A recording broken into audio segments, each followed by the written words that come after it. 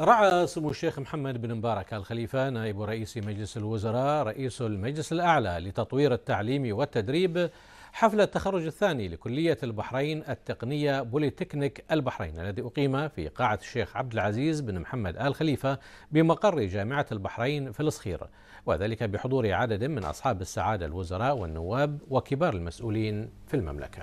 وفي تصريح لسموه بهذه المناسبة أعرب فيه عن شكره وتقديره لكل القائمين على هذه الكلية التقنية التي هي نتاج مشروع تطوير التعليم والتدريب وإحدى أهم مبادراته الهادفة إلى إعداد وتأهيل وتدريب جيل من الخريجين بقدر عال من المهنية بما يمكنهم من ريادة الأعمال والمنافسة في شغل فرص العمل المختلفة في كافة المجالات.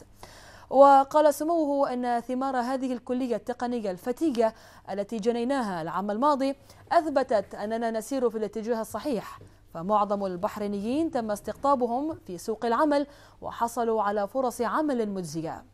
وها نحن اليوم نرفض سوق العمل بمجموعة أخرى تم تأهيلها وتجهيزها بمهارات تمكنهم من التعامل مع ابتكارات وتقنيات العصر الجديدة والمتطورة والتي من شأنها أن تفتح لهم آفاقا جديدة تحقق المزيد من النمو والتقدم والازدهار في اقتصادنا الوطني.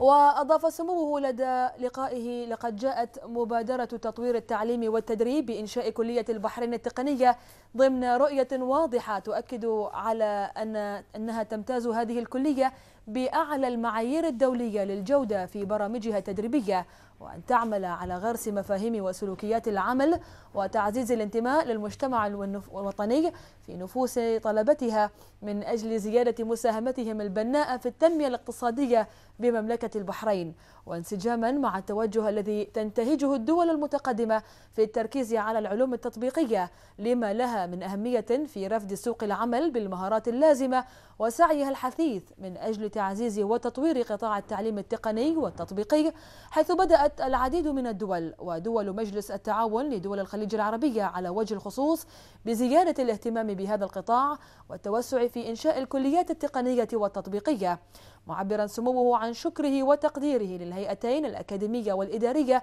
والرئاسة التنفيذية في كل كلية البحرين التقنية على جهودهم وإعطائهم وعطائهم ولرئيس وأعضاء مجلس الأمناء الذي قدموا الجهد والوقت من أجل أن تحقق الكلية أهدافها.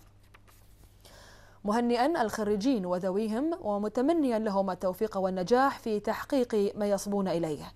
بعد ذلك ألقى سعادة الدكتور ماجد بن علي النعيمي وزير التربية والتعليم كلمة شكر فيها سمو الشيخ محمد بن مبارك الخليفة على تفضله برعاية حفل التخرج. ثم تطرق لأهمية التعليم الفتي والمهني في خدمة الاقتصاد الوطني مشيدا بنجاح مشروع إنشاء كلية البحرين التقنية بوليتكنيك البحرين وبالأهداف التي أنشئت من أجلها وأهميتها ككيان ضمن منظومة التعليم في مملكة البحرين. مبينا عددا من أبرز إنجازات البوليتكنيك منذ عام 2012 موضحا مساهماتها في رفد سوق العمل بالكفاءات الماهرة في دعم الناتج البحثي لمملكة البحرين وإبراز اسم المملكة في العديد في المحافل الدولية والمسابقات العالمية داعيا أولياء الأمور لحث أبنائهم وبناتهم على الالتحاق بالتعليم التطبيقي لما له من أهمية في عالم الغد.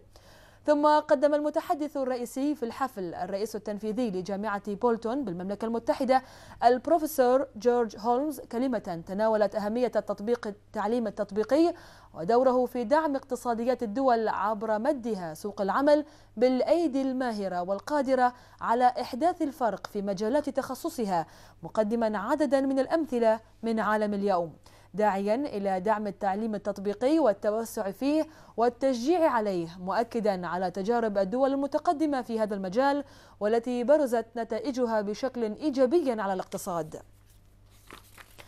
بعد ذلك قدم القائم بأعمال الرئيس التنفيذي لبوليتكنيك البحرين الدكتور محمد إبراهيم العسيري كلمة تطرق فيها إلى أهم إنجازات البوليتكنيك خلال العام الماضي مستعرضا النتائج المشرفة لتقييم الهيئة الوطنية للمؤهلات وضمان جودة التعليم والتدريب ونتائج التقييم الخارجي قد ضم حفل التخرج الثاني لبوليتكنيك البحرين 649 خريجا وخريجة في تخصصات متنوعة بعضها يمتاز بالازدواجية في التخصص كما بلغ عدد الحاصلين على الامتياز وشهادات التميز 42 خريجا وخريجة.